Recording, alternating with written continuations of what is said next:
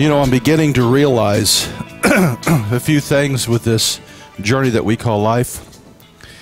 The older you get, the more that you begin to realize the wear and tear, you know, that life does. You begin to, in a sense, get weaker in the flesh. But what I have found is that automatically there is this inclination within the believer to rest more heavily upon the Lord. And when you do, you find out there's a strength there greater than your flesh could have ever given. And I'm thankful for that this morning. Now we're going to continue on with understand the kingdom, and I'm using PowerPoint this morning because there's a couple of things that I want to show you. Because not only do we need to understand um, the kingdom of God and what the Bible says about a lot of things, but we also need to understand where the Luciferian elite, where the uh, occult communities are coming from, because this is all encoded into the same story. And so I want to go back again this morning to Genesis chapter 3, verses 1 through 5. Now the serpent was more subtile than any beast of the field which the Lord God had made. And he said unto the woman, Yea, hath God said, Ye shall not eat of every tree of the garden. And the woman said unto the serpent, We may eat of the fruit of the trees of the garden. But of the fruit of the tree which is in the midst of the garden, God has said, Ye shall not eat of it, neither shall ye touch it, lest ye die. And the serpent said unto the woman, Ye shall not surely die. For God doth know in the day that ye eat thereof, then your eyes shall be opened, and ye shall be as gods, knowing good and evil. Now, some of the things that we have already uh, touched on is that one of the things that the, the Nachash has done now, it's, it's interesting. I got into uh, a little bit of a debate on, on Facebook this last week with someone who did not like my analysis of Genesis 1 through 3. And uh, I didn't so much, um, I wasn't so much concerned about his analysis of my exegetical processes, but the tone and the techniques that he was using for his rhetoric. Because it was straight out of Saul Alinsky's book, Handbook for Radicals. And what is concern, concerning to me is he was supposed to be, if you will, um, representing the right. And here we are, and here we are using the same techniques. I mean, he starts out by attacking, won't listen to reason, and then comes up with false allegations of things I never said in my sermon to begin with. And it's just ridicule and ridicule, and like he's speaking louder and louder. And when a few days later we were kind of attacked by the left using the exact same techniques. Uh, it's scary to me when the left and right are both using techniques developed by a guy who dedicated his book to Lucifer. And uh, I kind of think it shows the state of the church that we're in today. And uh, I mean, in this conversation, I got to meet with the vice chancellor of the university where he was attending back in the 90s. And when I shared about how we both agreed on the dangers of regional accreditation and kind of where it's heading, he began tearing apart the former vice chancellor of the own university he's going to. Uh, he's a loose, rabid pit bull in the kingdom of God. And uh, God, of course, God in His grace, I'm now beginning to have several uh, doctoral students come to me from that university wanting to finish their doctorates with us. So God kind of has a way of balancing out the universe, if you will. but we need to understand that this Nachash, the reason I brought that up is because he said there's no way that, that uh, Adam could have withstood against Lucifer. Well, if you exegete this scripture properly, like I said last week, you cannot just by this scripture say that that was Lucifer. It doesn't, but it is an entity called the Nachash, which was a, ser a seraphim, or, or if you will, that it was a flaming serpent, it was a flaming dragon, uh, that within within the uh, within the esoteric societies they also get the concept of uh, the phoenix. And I believe it was one of the many angels that fell with Lucifer. There are many classes of angels, even beyond principalities and powers and rulers of darkness. There's also the watchers. There's the Nechashir that we have. And it may be a certain class of, of angel that fell with him because we actually see him show up other times in human history when you look at the mythology of other groups. Now, he what, what what the Nachash does, and this this is the root of everything of evil, because he came to infect mankind with the knowledge of evil. Is that the first thing he does is he questions the commandments of God. How often do we see that in the preaching in pulpits today that we have this jaundice, that we have this prejudice against the commandments of God? That did not begin with Jesus. Jesus was absolutely the opposite of it. The Apostle Paul was absolutely the opposite of it. It goes back to the Nachash in the garden. Not only does he question the uh, commandments of God, he questions the intentions of God. And we have got this dichotomy in, in preaching today that we are so divorced from our Hebraic heritage, we are so divorced from the Old Testament that we act as if Jesus is another God besides the God of the Old Testament. That's Marcionism.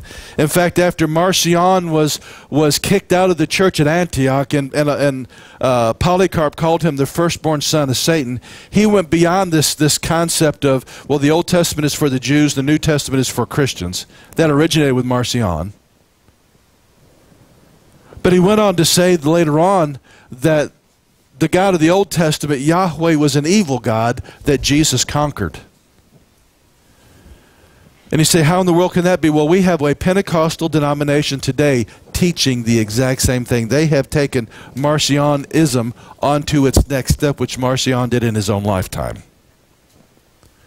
But I believe that all that originates with the Nachash, the same attitude, the same concept. Now, within the mystery religions, what we're going to see, and I want to show you a couple of picture, pictures here.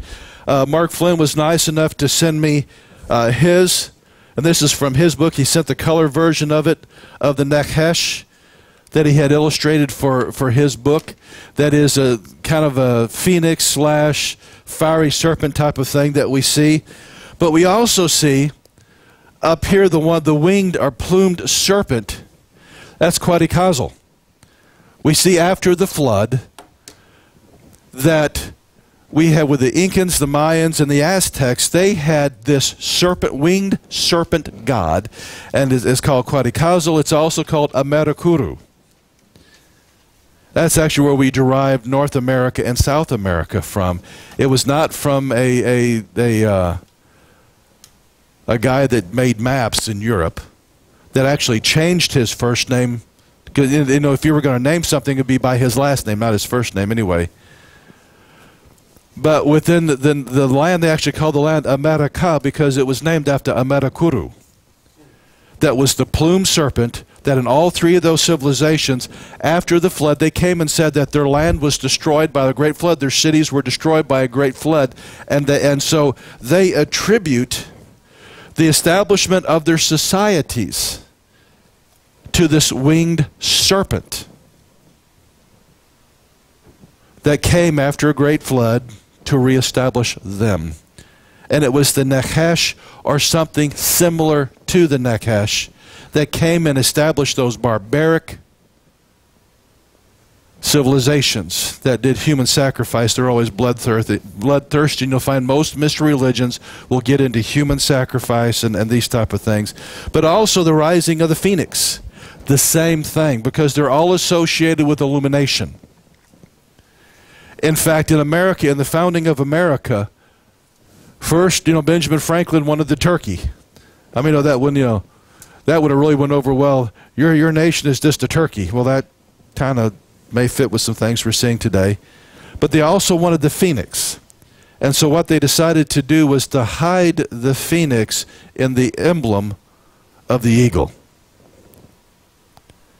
To say one day they were going to collapse America and then, as a phoenix raises up out of the ashes afresh, they were going to raise up this utopian society, occult utopian society, that Sir Francis Bacon postulated as the New Atlantis. That's all identified, and all of it originates with the Nachash of Genesis chapter 3. That's why we need to understand these things. So every single esoteric society, whether it's Rosicrucianism, Freemasonry, even major sections of the Roman Catholic Church or Islam, all of them have this esoteric tend that goes back to these three creatures. They came to, to teach another way. I think it's interesting. I was reading this week of um, the prime minister of Turkey that they're actually within Islam are beginning to worship him as God. And uh, in the picture that I saw online, they actually have him speaking before his parliament or for this huge crowd, and they actually have a hologram of him coming up to stand way up above. And they're saying that he is moving in, uh, in the power of Allah in the Middle East, and it may be the beginnings of the return of the Ottoman Empire or an Islamic empire. And I don't believe it's going to be ISIS. ISIS, I think, is a catalyst that Iran and Iraq are going to be able to be joined to create old Babylon once again. It's going to be old Babylon and then Turkey with it, and then the other things are going to begin coming together. I was sharing with Derek, uh, Derek uh, Gilbert, and he has such a better handle on the geopolitical stuff in the Middle East than I do. It's like I was standing there trying to add things as he was running circles around me in the interview because he knows so much more what's going on over there. But it, it's literally as if you had this Nachash, this four-dimensional creature reaching down in, in three-dimensional reality and begin swirling all these different things. It is kind of hard keeping it all together where it's going. But there's a game plan that the kingdom of darkness is working right now in the Middle East, and the elite are going right along with it. but I want to look at for a moment. Well, here, here's a couple other things. So now, the the circled serpent, you see that a lot in uh, in esoteric circles. The Aurora. In fact, we get the the Abora Auroralis is actually the shining glimmer. They say of that serpent that helped that the Nachash around the earth. We also have it here. In the center, this is also centered that uh, a symbol of the concept of Middle Earth or the hollow earth, that there's a, another earth on the inside.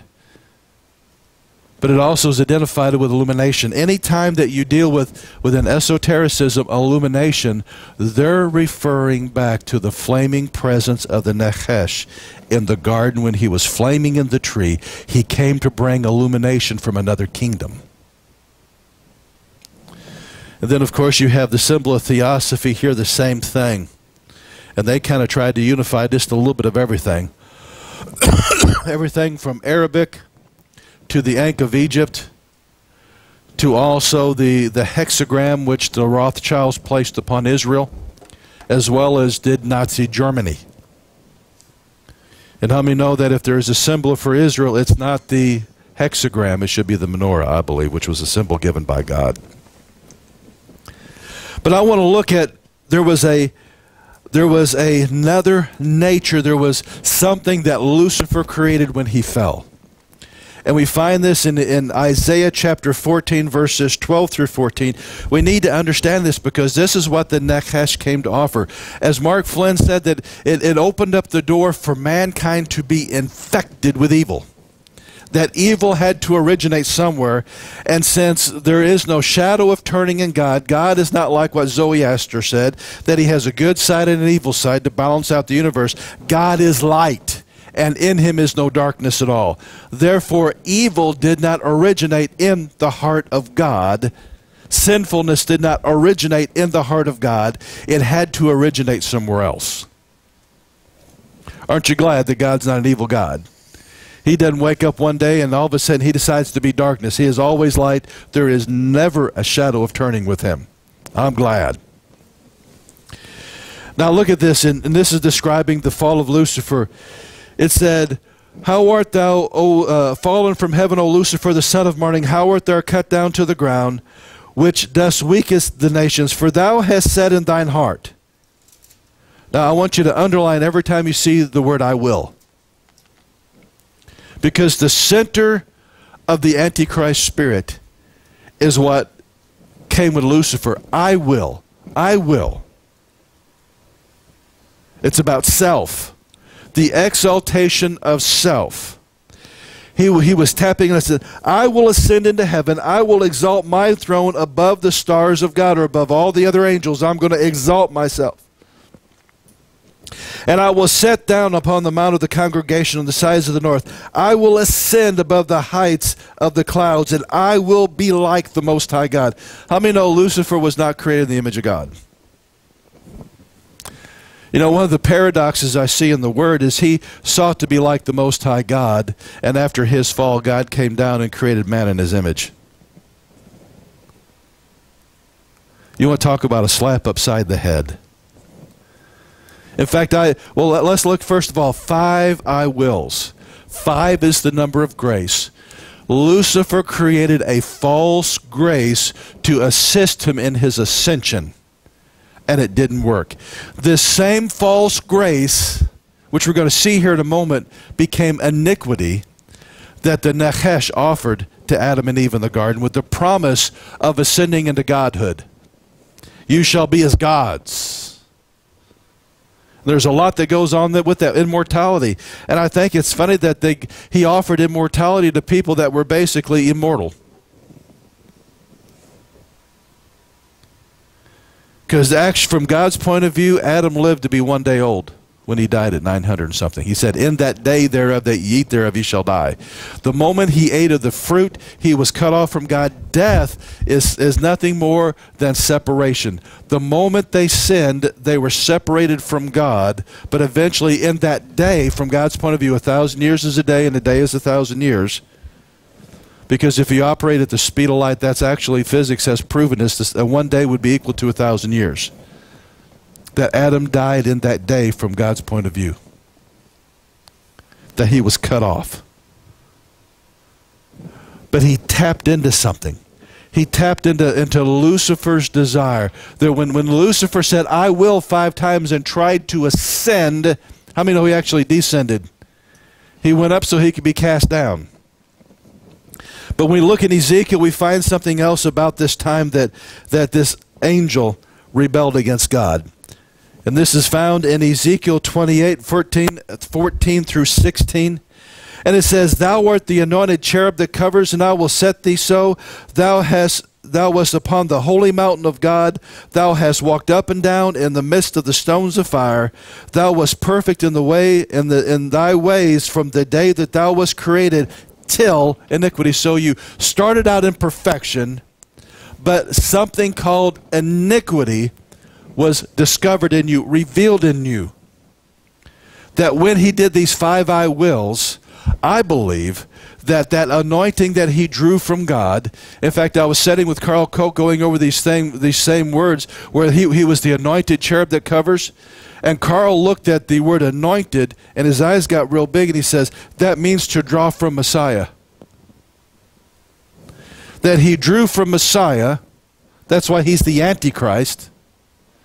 He drew from Messiah an anointing to ascend, and instead it perverted and it created within him something called iniquity. That became his nature.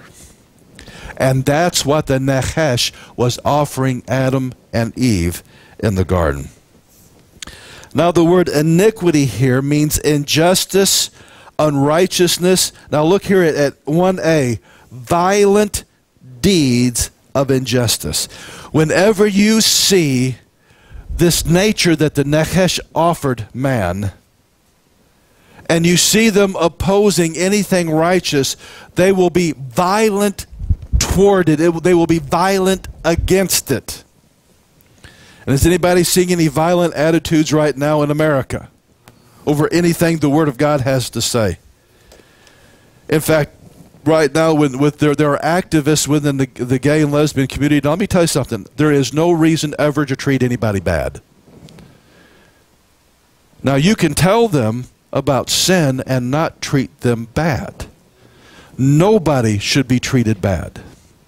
But activists within it are using this to persecute Christianity because there's a violence in it. Now, historically, let me tell you something. Iniquity within those that call themselves Christians have done many violent things just as bad. But violence does not justify violence. It doesn't. But it talks about injustice. Uh, and so this, this iniquity, when Lucifer, he violently opposed anything righteous. That is the purest form of iniquity.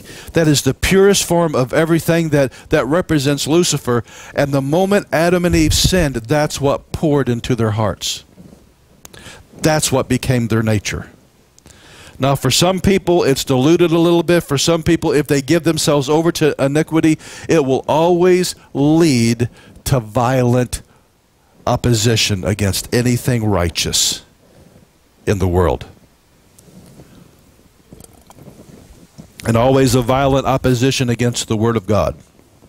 Now, we see a progression in understanding of the word iniquity in Hebrew because it also there's a there's a second Hebrew word, avon, which means perversity, uh, depravity, iniquity, guilt, punishment of iniquity. And so we see this same nature. That it, it, it, perverts, it twisted the nature that God placed within Adam to where he be, that he was twisted toward. That we also need to understand that iniquity is different than sin. Iniquity is the nature that twists you towards sin. Its manifestation is what we call sin. Does everybody understand that? Because we need to understand that Jesus went to the cross to redeem us from sin and to save us from this iniquity nature that was infected in mankind when man fell. Jesus did not come, i will say this, I will say this.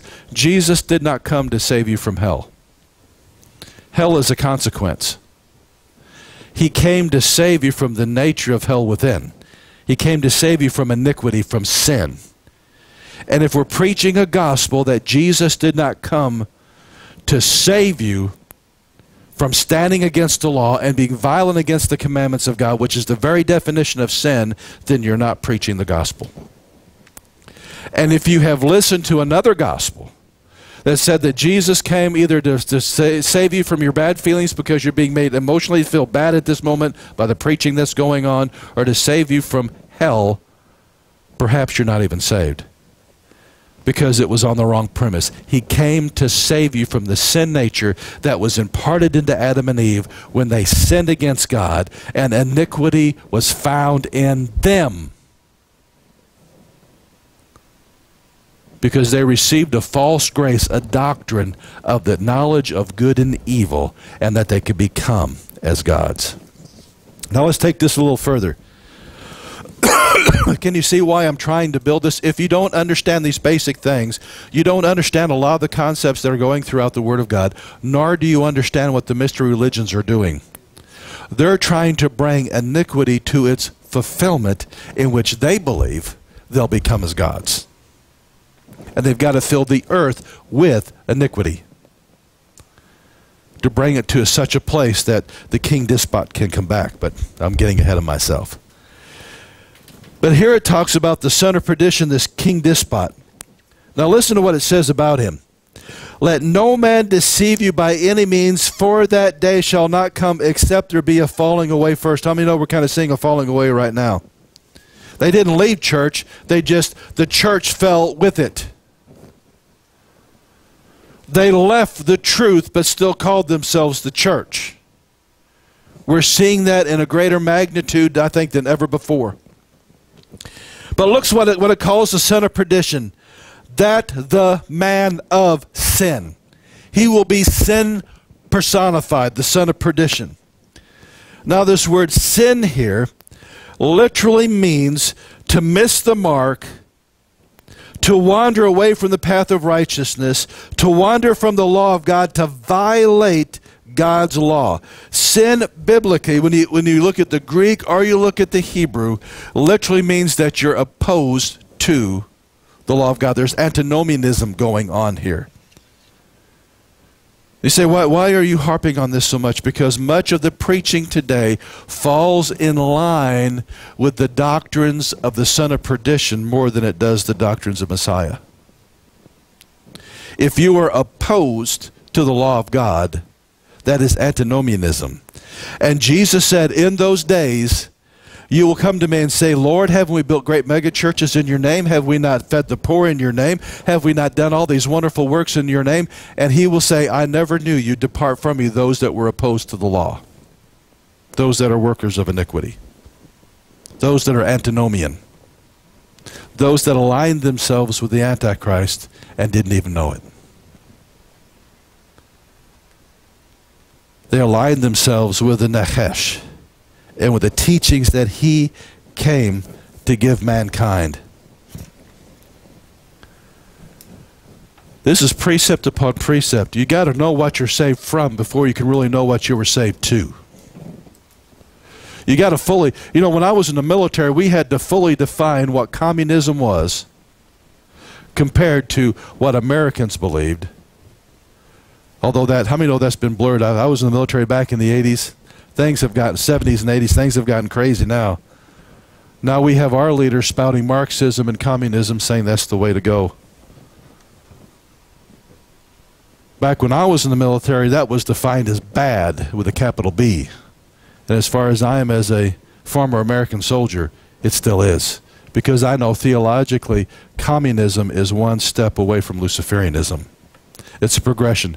Progressivism, socialism, communism, then Luciferianism.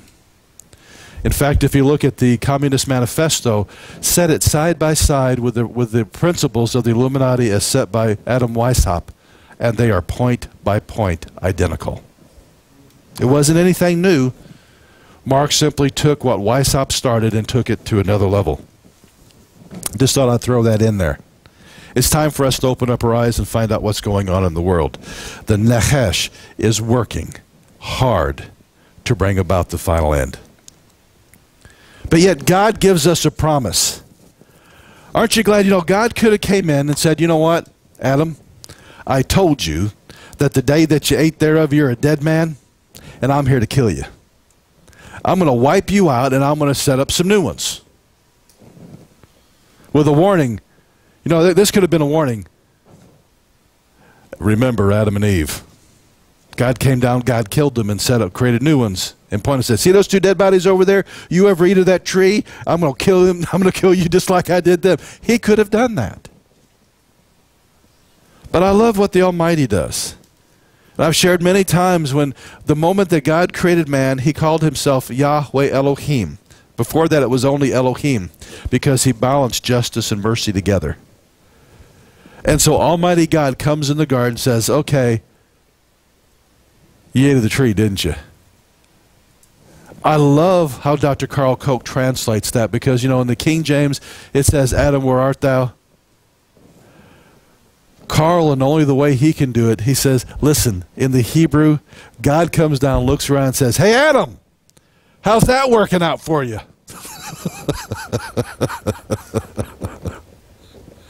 so you wanted to become a God? Now you're hiding in a bush.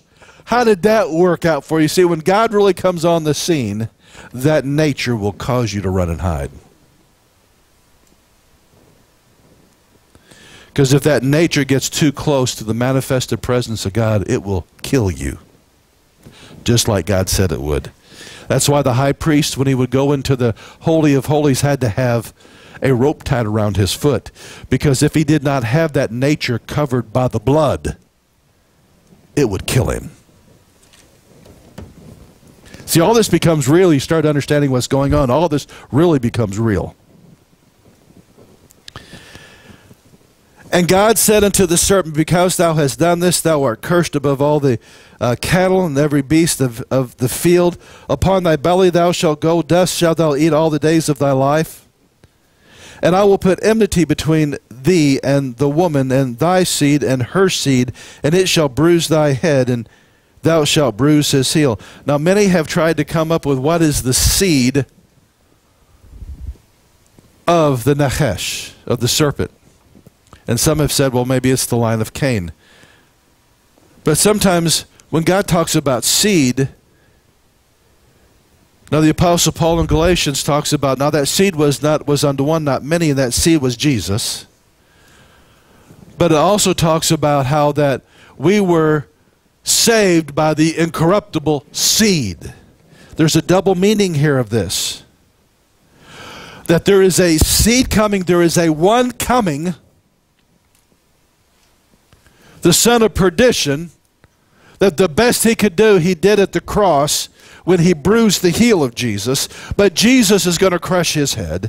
But at the same time, there is a seed, there is a doctrine, there is an understanding, the teaching of the Nachash that man will one day become a God if he simply embraces all the knowledge that these fallen angels have promised. You see, this is important because every single occult society, esoteric society, from Freemason to Rosicrucianism, all of them are seeking to rediscover all that knowledge that was going to be given. We're going to get into next week how that, if we get, because I mean, it may take us another week just to get out of Genesis chapter 3. We go to Genesis chapter 6 with the coming of the watchers. They came to give knowledge as well as breeding with women. They came to give this knowledge because in it was a seed that would germinate in the hearts of men. That another name for the Nachash is Prometheus because he came to give the fire of the gods. And we use the metaphor of he came to give physical fire, but occultists know that he came to give illumination from the gods. So Prometheus can refer to both the Nachash and the Watchers of Genesis chapter 6. He said, The best you can do, but there's one coming. God says, I've got this. And because man sinned, woman was deceived, Eve was deceived, Adam was not. That's why it is counted to him as high treason, as well as he was the one commissioned by God to guard the garden. He was a watchman over it. That it was attributed to Adam for sin, but he said, through the seed of the woman, there's one coming, and I'm going to fix this through the one coming. Aren't you glad? We have a type and shadow of the one coming. We celebrate Passover this week. And how fitting because Passover and the whole typology. You see, God's getting ready to judge some things in the earth. Jesus was the Passover lamb. And when God came to judge the Pharaoh, and Pharaoh was the personification of Osiris. He was the personification, if you will. He was a type and shadow of the Antichrist in the Old Testament that was ruling the earth under the wisdom given by the Nachash and the Watchers that civilization was created. And it first accepted God's people, like it always does and then it builds its kingdom on the back of God's people because it enslaves God's people. Kind of like right now in America, the esoteric religions used the revivals of Jonathan Edwards to begin building a republic and then slowly turned it into a democracy, and now they're turning it into an oligarchy where only the elite rule. And as they do, Christianity is going from the forefront by the morality that we had, that now we're becoming slaves to it, and we must be, we must be oppressed and brought into line with the Pharaoh spirit. And just like when God judged Egypt to set God's people free, there's coming a time, I believe, even before the Antichrist and all that, that God is going to judge America.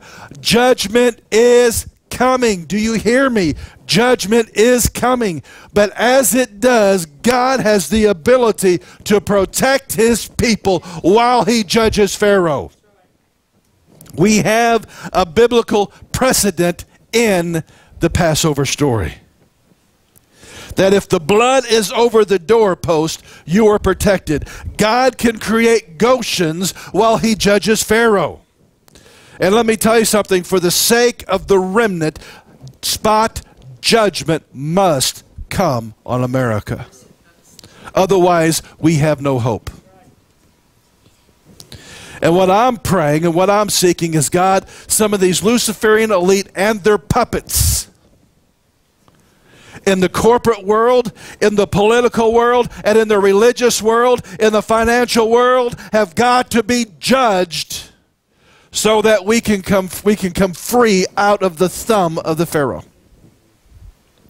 for the sake of the remnant in this nation. I will be as daring as to say God does not need to use the rapture to protect you. Your protection is what it always has been the blood of Messiah. That same blood that was shed on the cross. Come on. Let's take it one more step. Come on when the apostle John or, or, John the Baptist saw Jesus, he said, "Behold the Lamb of God who takes away the sins of the world. That takes away that sin nature. That sets you free from the nature of Lucifer. That sets you free from the teachings of the Nachash. That sets you free. That same blood that caused you to become a new creature in Christ Jesus." Is the same blood that covers you when God pours out judgment that you're safe. It becomes that ark that you can go like Noah. It becomes that house with the Passover blood over the doorpost that it comes across on top of you, but it does not come into your dwelling. That's why we've got to understand these things. Well, Mike, are you preaching? A post tribulational rapture. I'm, I'm, I'm here preaching this. The rapture is big enough to take care of itself. Now, we can fight till we're blue in the face about the timing of it, but it is an academic debate. The debate is not the timing of it, the debate is who you're under. Well, if you're under the blood, if you're looking for that, if you're looking for the coming of our Lord Jesus Christ, it causes you to purify yourself because you know that you're going to have to answer for what you're doing in this flesh, and you want to bear you want to appear before the king in proper attire with those robes that are washed spotless in the blood of Jesus that there's no wrinkle nor spot nor any such thing. And if I know He's coming, I'm getting ready by walking in biblical holiness, bringing everything under the blood, and getting free of the doctrines of the Nachash and the nature of Lucifer that's permeating this world. I want to be free of it. I don't want to have the smell of it, the tint of it, nothing on me, because my King is coming, and the rapture will happen exactly when it's supposed to pre, mid, pre wrath, or post. It will happen. But here is the thing when it does happen, you better be found faithful and you better be found under His blood. And that same blood that'll make you rapture ready is that same blood that'll make a, a banner over the top of you to protect you as God begins judging things. Come on. My God is big enough to judge the devil and to protect you at the same time. Maybe your God's not that big, but mine is. Because I saw God create Noah's ark protected the righteous while an evil world and all the Nephilim and all the other crazy creatures that they had done with their genetic experiments died. I saw God place his hand over little huts in a place called Goshen while he judged the firstborn of Pharaoh himself died because God judged it. But yet those under the blood were protected and I saw Almighty God do that which blew away the minds of the angels. He came and gave himself as the Lamb. That that was divinity, that was eternity flowing down that cross. And by that blood, I have every sin forgiven, and I am delivered from the sin nature. Now, what we've got to do spiritually the moment that we make Jesus Christ Lord and Savior of our lives. Our spirit men are reconnected to God. I am delivered from that sin nature, but that old nature is still embedded in the soul. That's why I've got to get back in the book and have my mind washed with the water of the Word. To get that old sin nature out of my mind. But aren't you glad this morning that Jesus, what he did for us, is enough? It's enough. And to realize it wasn't just about getting delivering me from a devil's hell. It was delivering me from the very nature of Lucifer himself when he died on that cross. That's what baptism represents. I've died to my old self and I have now resurrected into a newness of life. By the very life of God flowing through me, this divine nature, the nature of Jesus flowing through me, is the gospel story. And it all started in the garden.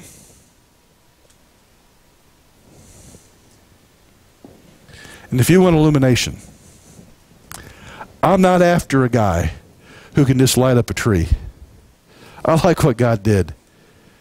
He showed up in the burning bush. And I really think Moses was intending on going, taking them up there and saying, guys, there's this bush. It is so cool. It, it, it's a fire, but it doesn't burn up. And he gets there, and God says, You want to see illumination? The entire mountain was on fire. I don't care about who can light up a tree. I serve the one who lights the world and lights up a mountain so much that Moses feared and trembled.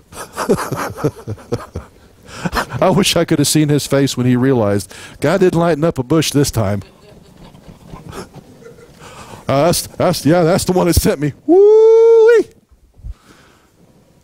That's the God. That's why in the book of Hebrews says God is shaking not only the earth, but he will shake the heavens. Oh, I want to preach about where I'm going to get in about 10 weeks because it's so good when you get in the book of Revelation. But he reminds us, he ends that passage with, Our God is a consuming fire. There's no fallen angel has anything on our God. Not even close. So we just need to ask ourselves this morning is the blood over our doorpost? Have I been delivered from sin? Not hell, sin. Because I've accepted God's Passover lamb. The moment that they nailed Jesus to the cross, the cross became the doorpost of planet Earth. and hung on the place where God placed his name. And if you look at the mountain range in Jerusalem, Jerusalem is actually on three mountains and it forms a sheen. It was God's mezuzah. God was saying even long before when he brought Abraham to that place that he was going to offer Isaac, God's sheen was in that place. And God says, This is my doorpost to planet Earth. And then he went there and took the blood of the Lamb and placed it upon the doorpost of planet Earth. And he said, All those who come under the blood, when I send forth the death angel to judge, I've got you covered. I've got you covered. Father, this morning, Father, we recognize that Jesus is Almighty God come in the flesh, that He gave His life for us that his blood sets us free of the sin nature. And Father, this morning we ask that the blood of Messiah, the blood of the Lamb of God, would cover us, cover every doorpost in our life, cover every sin. And though our sins be as scarlet, let them be made white as snow by the blood of the Lamb. And Father, we declare before heaven and earth that we trust in the finished work of Jesus. We trust in his blood that was shed for us. So that we would no longer oppose your commandments, but that we begin walking in them again, that we could be your watchmen and your servants in the earth today. We thank you and we praise you for it. In Jesus' name.